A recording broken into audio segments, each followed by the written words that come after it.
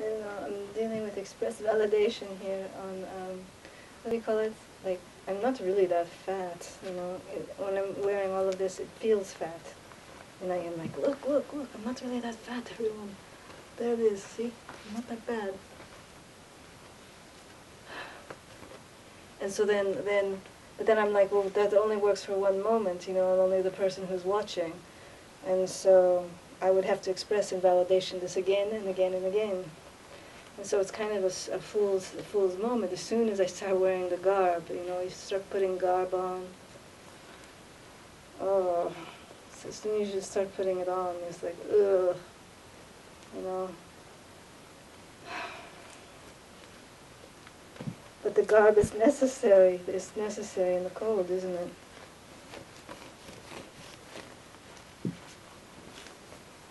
I got tight garb, but it doesn't matter. It doesn't matter. All of this be female and look feminine and beautiful goes goes out the window. yeah. So anyway.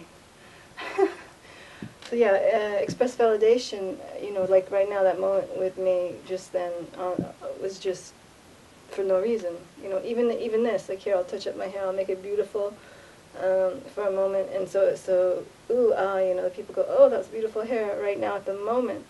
But as soon as as soon as um, it gets disheveled in some manner, um, it's not it's not um, uh, you know it's it's only for those others who remember that moment, and so it's just just like an entire life of trying to play, pay pay um, homage to to re repeating the, that moment again and again and again, you know, for everyone, you know. So so be the the perfect little moment for everyone to always see and witness. Um, and in this particular instance, it's, it's next to impossible because it's just, you know, you're, you're when I'm thinking about this mega travel, the mega travel, the, the ancient, the ancient nomad travel, it wouldn't have been that, that, that luxury. I mean, we're dealing with, with animal skins, you know, as our bedrolls, um, and we're dealing with some, some heavy duty wool. Um, we're not we're not really in the fashion the fashion statement, and so the fashion statement must have really been something that was allowed further south, you know, where they didn't actually travel, they didn't have to take all of the items. So I have a feeling um, the upper north people um, were just you know drenched in um, the beauty really had to be in the face. Beauty had to be in the face and, and not anywhere else because you couldn't see it. You know, you couldn't see it. It couldn't be witnessed. It just had to be covered and cloaked. So it's interesting, an interesting moment, isn't it? Um, that revelation. Um, so, so yeah, I am thinking about thinking about the, the disparity. I, I've seen them. I've seen them. I, I you know, I, I lived at a, a Woofer farm before, and I, I've seen them, you know, traipse in all summer long, and it, it's it's something else. They what they're carrying, and and um, it's it's you know it's just an incredible journey. They travel so far, such a long distance, and um, I don't know some something we have to do something about that. Um, I think specifically for Americans, we need to have some kind of a regroup area um, here in France um, that's not the American embassy, um, you know, one, one going and saying help, help. I think we need a regroup area, um, uh, just for anything, just to barter items, because we, we, we, don't have internet access, uh, there's not internet access out there for those people. So, so we, we have to bar have a barter, a barter area, you know, I don't need this any longer, can I swap this with you? You know, I need, I need those Levi's, and, and you're not using them, I need, I need those Levi's.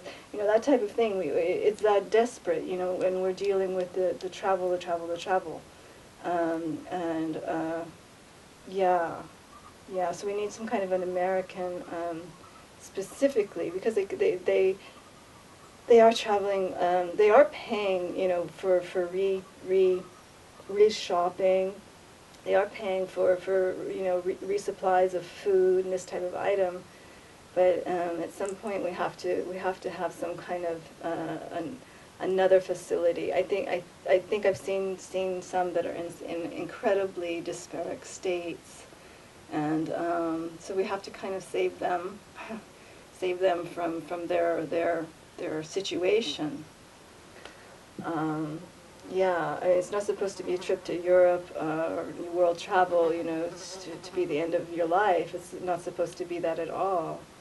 Uh, it's supposed to be a journey, you know, for, you know, to learn, and, and it's not supposed to be just a slap in the face everywhere you go because um, you feel so, so stranded and strayed out um, from the rest.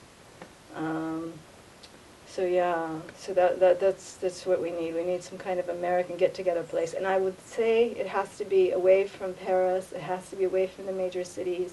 Has to be in, in the small little communities out the, out here in regions, uh, farm villages. Um, just just because just because it probably would involve some kind of camping um, facility and and yeah, we we're dealing with the the payment of everything. How how we how we can afford it. Um, getting money through. Is there money? Do we get it from our family? Does the family not help? If the family cannot help and won't help, and doesn't want to, they'd rather feed the breast cancer society, or they'd rather feed um, their money to other other funds, uh, other homeless people elsewhere.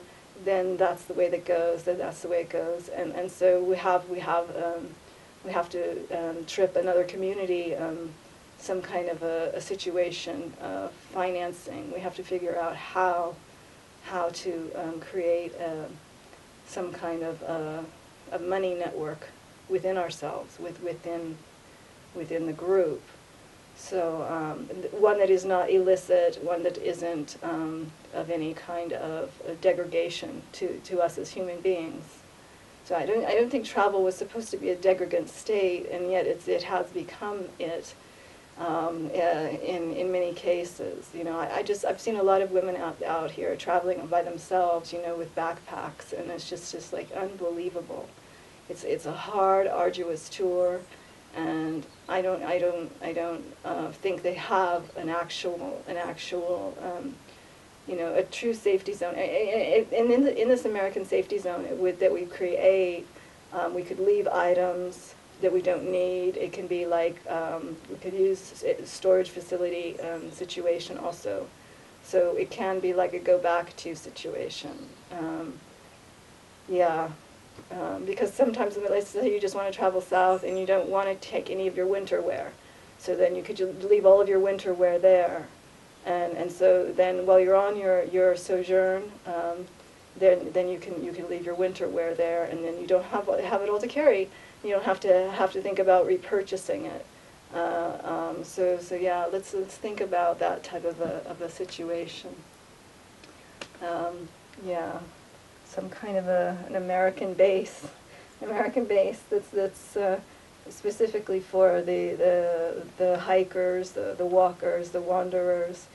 Um, just just um, just a peace zone, a total peace zone, um, where we're not. Um, uh, any kind of an uproar from from from any kind of uh, you know life victimization feeling. You know, just just a real like a sanctuary, sanctuary.